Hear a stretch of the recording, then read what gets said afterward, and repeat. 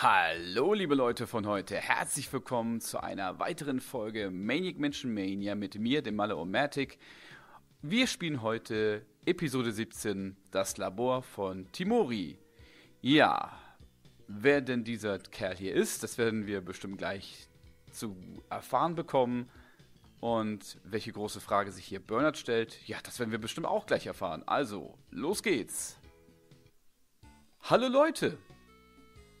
Ist das nicht ein wunderschöner Tag? Die Sonne scheint, die Vögel zwitschern und ich habe heute überhaupt keine Lust, mein Zimmer zu verlassen. Oder gar Abenteuer zu erleben. Hm, den ganzen Tag nur faulenzen und nichts tun?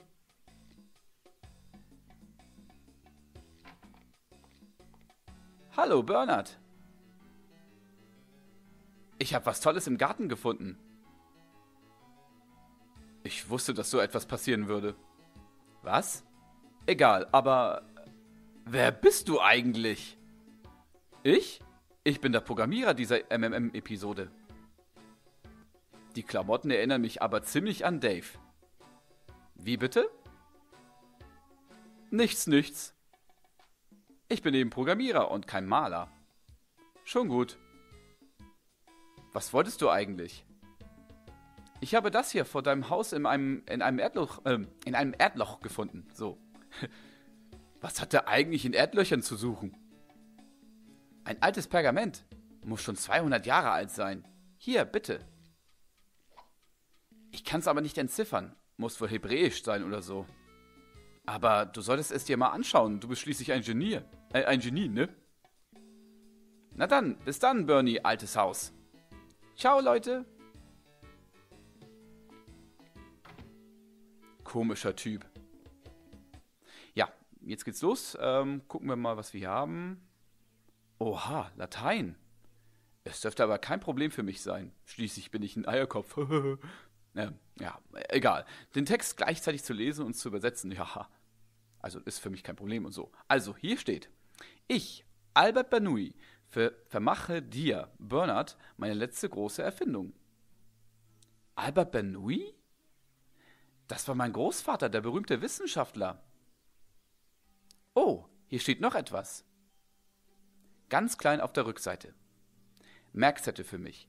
Labor betreten durch. Mist, hier wird die Schrift unles unleserlich. Ich kann nur noch entziffern. Labor betreten durch Poster oder so ähnlich. Was das wohl bedeuten mag? Auf jeden Fall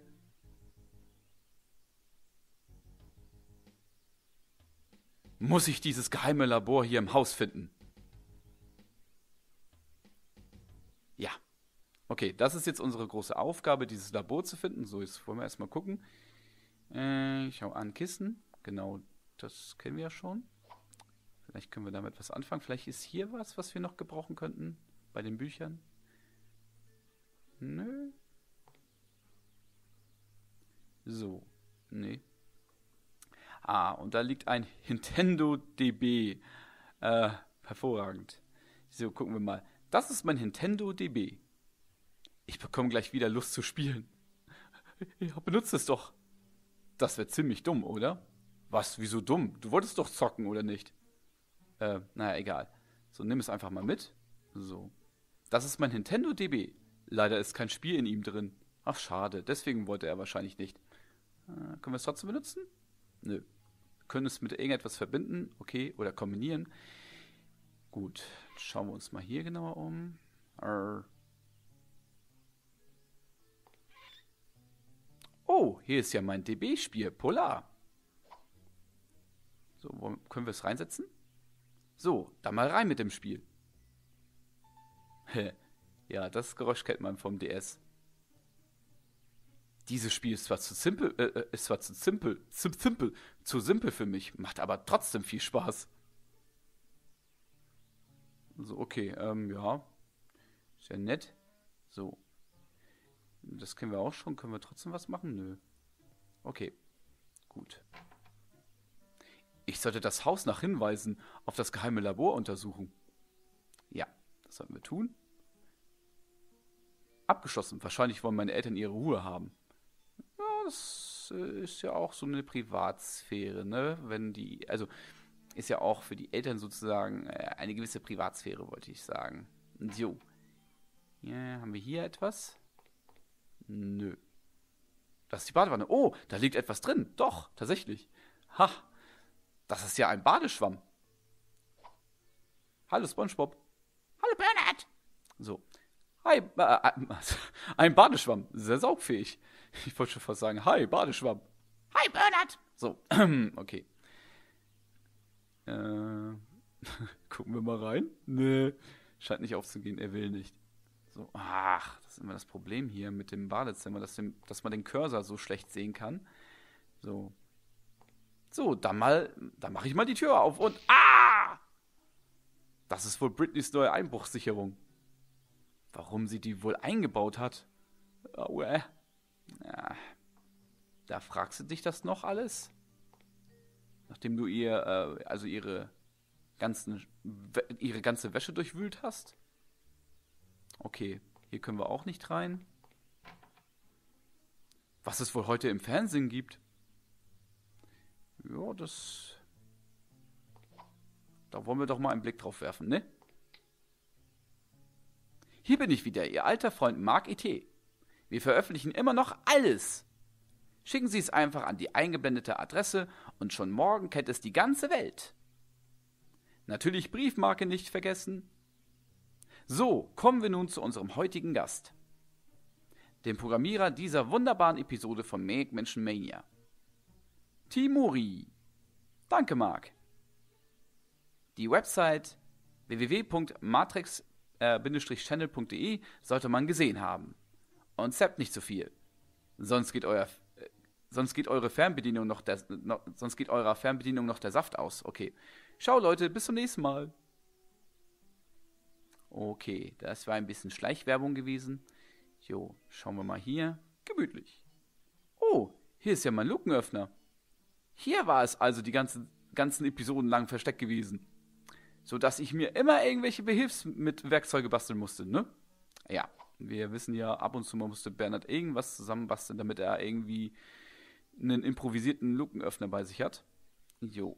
Also wir können damit zum Dachboden gehen. Gucken wir da mal, ob wir da was finden können. Ich mache diesmal die Luke mit einem stinknormalen Lukenöffner auf. Und ohne mich auf irgendetwas draufzustellen. Kann ich das überhaupt noch? Mal sehen. Ja, das kann er noch. Sehr schön. Ich habe mal wieder falsch betont, habe ich gerade festgestellt. Aber okay. Ist jetzt nicht so schlimm, denke ich mal. Mein alter Chemiebaukasten. Mal gucken, ist da was drin? Scheint nicht aufzugehen. So. Ja, ähm, wir haben ja bei dieser, äh, bei diesem Pergament ja gelesen, dass irgendwas hinter einem Poster sein soll. Und das ist der einzige Poster, den ich jetzt hier kenne. Wobei ich mich frage, woher will eigentlich der gute alte Bernard, also, also woher will bitte schön Bernards Großvater wissen, wo sich das Poster hier befindet? Denn schließlich ähm, weiß ich nicht. Also, war er vor kurzem hier oben gewesen und hat sich mit Grüntentakel unterhalten und so. Ähm, weil das muss schon ein bisschen länger hier. Äh, äh, also es muss auf jeden Fall vor Grüntentakelzeit gewesen sein, als er hier oben rumgewerket hat. Und ich glaube nicht, dass da noch ein Poster war. Egal. So, wir nehmen auf jeden Fall dieses Poster mal weg. Können wir nicht? Hä? Können wir es drücken? Können wir es öffnen? Ich meine, benutzte Poster? Wäre doch ziemlich dumm, oder? An meinem schleimigsten Sohn, Mom. Oder habe ich jetzt gerade was. Warte mal. Oh, Dateien. Erfindung. Albert Benoit, das war mein Großvater, der Wissenschaftler. Oh, hier steht noch was. Ganz klein auf der Rückseite. Durch. Schrift ohne, sie kann doch noch entziffern. Labor betreten durch Poster. Oder so ähnlich. Was er wohl bedeuten mag. Okay. Ja, äh, ist gut, Bernhard. Wir haben es schon verstanden. Okay. Ich hätte jetzt gedacht, dass jetzt hier habe ich was Falsches verstanden? Nee. Ich meine, es ist doch genau eigentlich. Hm. Naja, schauen wir uns mal hier genauer um. Aber ich meine, das hat was mit dem Poster zu tun. Wenn das der Fall ist, dann, wie gesagt, bestätigt sich ja meine Aussage von wegen, hey, es kann doch nicht angehen, dass er, dass er schon wusste, dass sein Poster sein würde, weil das Poster gehört ja eigentlich zu Grüntentakel. Mal abgesehen ist das ja kein Poster, sondern ein Bild. Ich depp. Ih, der Abfluss ist verstopft. Und die Spüle ist bis oben hin mit dreckigem Spülwasser voll. Oh, da schwimmt irgendetwas im Wasser. Solange dieses Wasser drin ist, fasse ich, nix, äh, fasse ich da nicht rein. Dann benutzen wir doch den Schwamm. Hm? So, dann mal rein mit dem Schwamm. Er saugt sich voll mit Wasser. So, das Wasser ist weg. Und in der Spüle liegt ein Spülhandschuh aus Gummi. Yay. So. Noch ein Gegenstand mehr im Inventar. So, ein... Leer. Okay. Hm, dann ist hier soweit nichts. Aber ich meine doch, ich meine doch, aber ich, warte mal. Lücke. Ach, guck mal. Oh, hier ist eine Lücke zwischen den Büchern. Ich fasse mal rein. Da ist ja mein Schraubenschlüssel. Wie der wohl her, hergekommen ist, das ist ja natürlich die große Frage. Gut, okay. Das hätten wir auch schon geklärt. So, können wir hier... Oh, oh was ist denn hier? Radioaktive Pfütze. I. Oh je, der Keller muss voll mit radioaktiver Flüssigkeit sein. Bernhard, was hast du bloß hier gemacht? Und wer darf das alles wieder wegmachen? Ja, Bernhard, das ist wohl sehr offensichtlich. Können wir damit was machen? ja, das wird ziemlich dumm, wenn man einfach auch mit einem Handschuh reingreifen würde. Das wird auch nicht viel bringen. Naja, gehen wir mal raus. So, dann schauen wir mal, hier, was es hier so gibt. Leer. Okay. Geht nicht. Geht auch nicht. So. Können auch nicht hier weggehen. So. Hm, gut, aber wie gesagt, eigentlich hinter einem Poster. Oder habe ich da was falsch verstanden? Zeitschriften. Ist da was?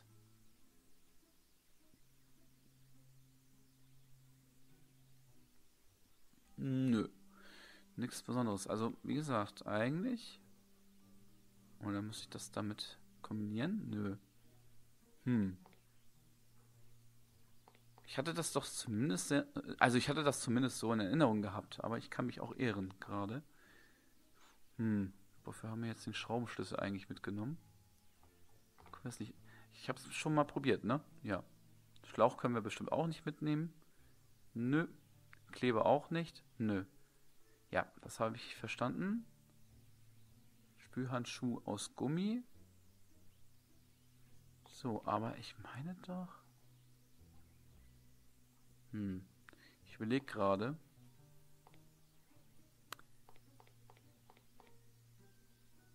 Ein Fenster, Schild, dü, dü, dü. Perpetuum mobile. Können wir das gute Stück mitnehmen? Nö. Können wir nicht. Können wir das Fenster öffnen? Das ist kein echtes Fenster. Was mit Schack? Können wir den mitnehmen? Nö. Schack bleibt also hier. Okay. Äh, ja, ich muss gerade ein bisschen überlegen, Leute. Deswegen. Äh, warum bist du jetzt nicht hochgegangen? Ich habe mich mal wieder verklickt. Ich habe mich mal wieder verklickt. Äh, aber irgendwas Ich bin mir ganz sicher, es hat was mit dem Bild hier zu tun. Na bitte, ich sag's doch. So, und deswegen, meine Theorie ist schon ziemlich, also bestätigt sich schon mal. Es kann ja nicht sein, dass äh, Albert von diesem Poster was weiß, weil das ist ja eigentlich ein Bild von, naja, Grüntentages Mutter und so. Und ach, egal. Deswegen ein bisschen unschlüssig das Ganze. Aber ich sag später noch was dazu. So, wir haben jetzt, jetzt, äh, jetzt haben wir ein Schlüsselloch gefunden. So, und jetzt gucken wir mal, ob wir vielleicht was damit anstellen können. Äh, ich sehe nichts Besonderes. Ach, du siehst doch da ein Schlüsselloch. Wobei man sich ja natürlich fragt, wie kann es sein, dass der. Ach, egal. Ich, ich bin schon mal wieder sehr pingelig. Ich merke schon. So. Sehe auch nicht.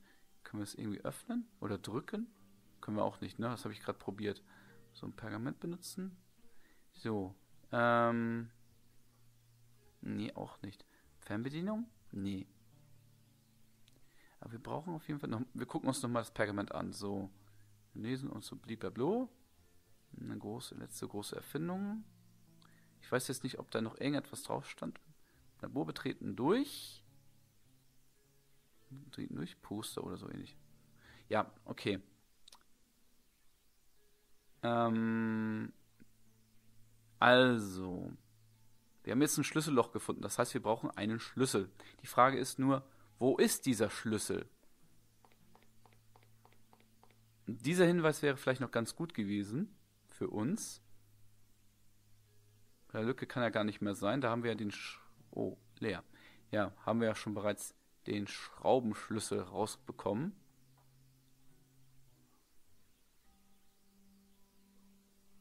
Wobei das eigentlich ein Schraubendreher ist. Also, egal. Schraubendreher, Schraubenschlüssel. Ja. Ne, ne, ne, ne. Ich bin ja wieder so pingelig heute. So, bei der Mikrowelle haben wir noch gar nicht nachgeguckt, aber da liegt nichts. Da liegt nichts. Da ist nichts. So. Ja, da ist der Schwamm drin, genau. So. Jetzt frage ich mich gerade.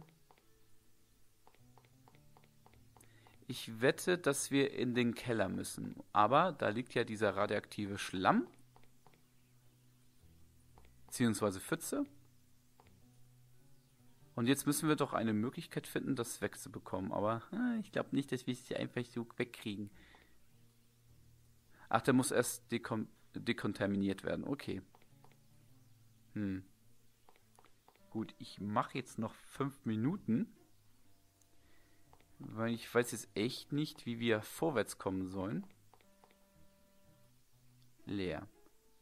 Ich habe jetzt echt gerade keine Peilung, muss ich zugestehen. Aber warte mal. Ich habe da so gerade wieder einen Geistesblitz. Glaube ich zumindest.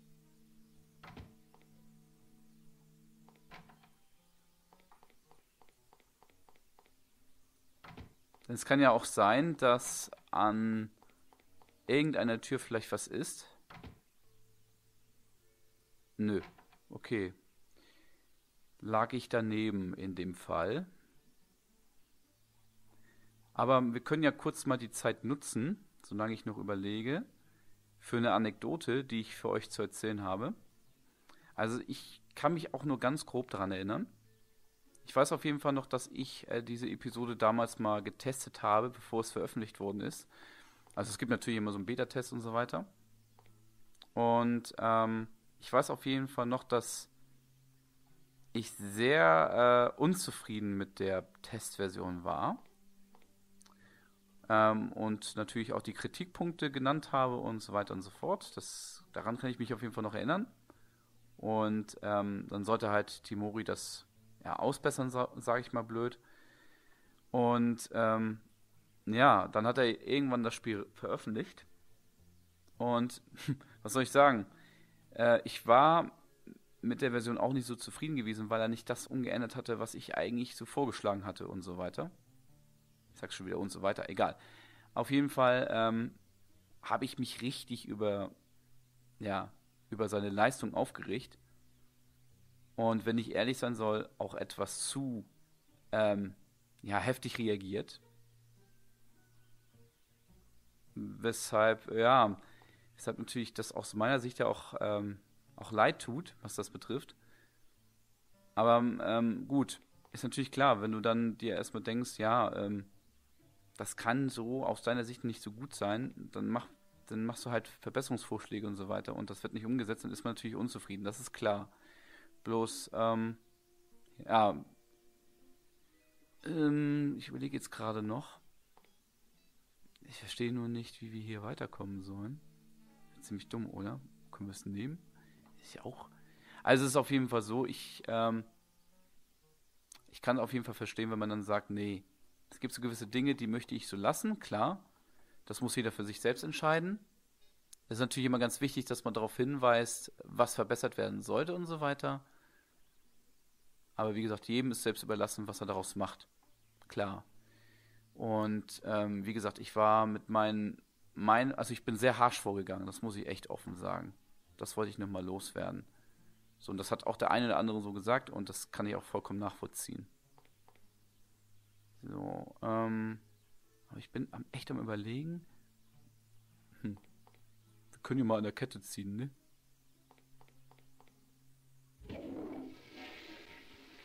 Ah ja. Das ist Wasserverschwendung. Ja, Entschuldigung. Ähm, okay. Gut, ich würde sagen, wenn in den nächsten zwei Minuten nichts passiert, Leute, dann würde ich einen Cut machen wollen und dann erstmal kurz eine Pause machen. Und je nachdem, wie lange das dauert, der, also der nächste Part, der folgt, würde ich das entweder noch an diesem Video anbinden und das so als vollständiges Video rausbringen oder ich mache halt daraus ein zweites Video. Nun denn, okay. Ich denke, ich mache da wirklich erstmal einen Cut und dann mal sehen. Wir sehen uns auf jeden Fall gleich wieder.